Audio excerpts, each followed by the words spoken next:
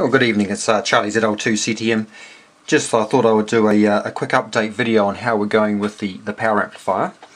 Um, in the last video we saw some of the ideas of uh, what I was thinking about doing. Uh, it was going to be a three-stage power amp uh, with a driver and what I'm just notionally calling a low power and the high power portions of the three-stage amplifier. Hoping to get around uh, 20 watts output if I could, that'd be nice.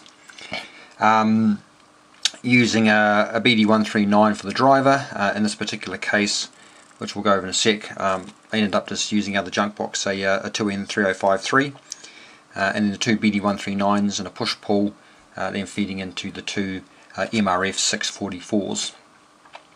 Um, so that's what I was thinking about doing on that last video. Um, and then since then I've converted that circuit and milled it. So basically took the circuits, um, did a, uh, a CAD uh, drawing for that to convert the, uh, the circuit into uh, a series of tracks and then used um, a very affordable uh, Chinese CNC machine that I got off Alibaba. Um, was AliExpress, one of the two. Um, certainly did not pay a lot of money so you get what you pay for so it's not perfect as you can see here with the cutting head moving in this direction it's slightly thinner than coming in the other direction but honestly uh, I cannot complain for um, the price I, uh, I paid. And I must admit what I have not done which potentially would clean this up is I haven't played around with things like um, the rotational speed of the cutting head um, the speed in which that cutting head moves across the board. So those are settings that I do want to have a play with in the future which could potentially um, uh, clean up the quality for the board. But like I say for the moment um, I'm more than happy so you can see over here uh, we've got the, uh, the 2N3053 in the driver uh, with a 40B pad at the moment just for testing uh, coming in. The yellow is coming from the SIGGEN, that's providing our drive into the BD, uh, say again the 2N3053, uh, the output of which is into that first transformer there. The um, You would have realised, well not realised, recalled that, let's go back here again, that first transformer uh, was going to have bias, so it's a 4 to 1. Um, it's going to have some bias being applied to the base uh, of the BD139s, and that's what you can see there with the orange. At this stage, um, this side has been lifted because I don't want to provide, uh, when I had the two 139s, which are here, which were here and here, I uh, didn't want to at this stage for testing this circuit to have any bias on those, so that's been lifted. And the same too for the MRF 644s same configuration there. This side's providing the bias for the two MRFs and then this pad over here comes from VCC through the RFC and that's providing VCC back through to the collectors of the, the BD139 or the two BD139s. Anyway, so um, we'll look at these next two stages in a future video. Um, just got some uh, power diodes there just um, thermically sitting on top of the MRF644s so that's part of the bias network for that. Uh, if all goes well then as these um, temperature rises then um, that'll regulate how much current is flowing in to try and do some some thermal compensation.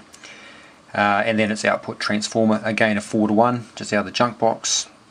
Um, it's got the copper tubes through here and we'll cover that in a later video. So it's one single copper tube out with the VCC going uh, through the RFC and then uh, four turns running through. So what I am doing here, I'm just going to run through and we'll look on the oscope um, this circuit here.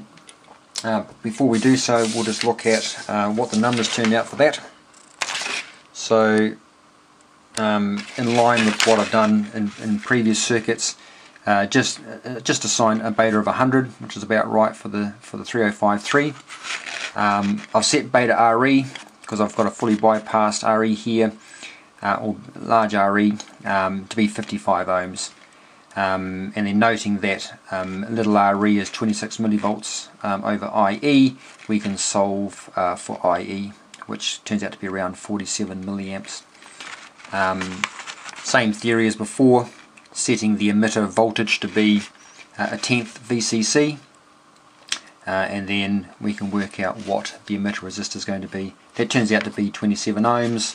Um, exactly the same theory as we've seen before for the two voltage divider uh, resistors, R1 and R2. Um, they turned out to be for R2, the lower one, 417 ohms, which I'll just use 390 as the nearest standard value, and then for R1 uh, turned out to be 2272, so just using a, a 2.2k.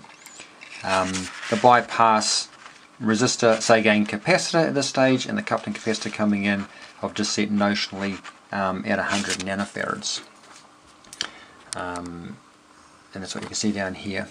So the coupling capacitor bringing in our RF, which is this one here, 100 nanofarads, and then our bypass one there. Um, right. So I think uh, what we'll do now, so we'll just uh, fire up the oscope and uh, we'll see how we go. So the input uh, is coming in through there. I'll grab just that earth there. The output goes across that load. So just recapping what I've done. Um, in order to present the correct impedance to the load of this 3053 uh, that transformer is expecting to see on the BD139 stage when these are two are in circuit like so uh, around 3 ohms. So uh, I've just got two 5.6 ohm resistors in parallel so it's, uh, it's not quite but it's close enough to that sort of 3 ohms.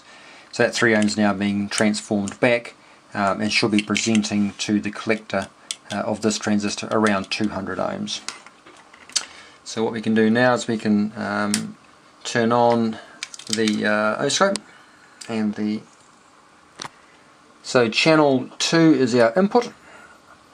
Uh, so the inputs are roughly uh, 0.18 volts. And then if we go to our output uh, channel 2 let's say again channel 1 uh, we can see there we're getting about 0.5 volts per division and we're getting uh, 2.5 volts so 20 log 2.5 over 0.18 volts gives us around 23 dB.